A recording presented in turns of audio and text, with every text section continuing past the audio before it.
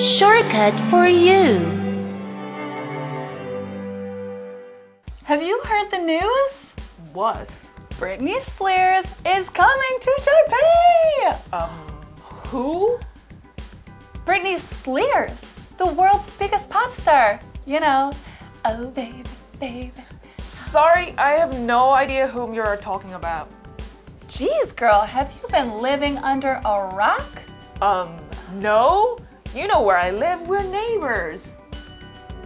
I'm not talking about where your apartment is. To live under a rock means to not know about current events or popular culture.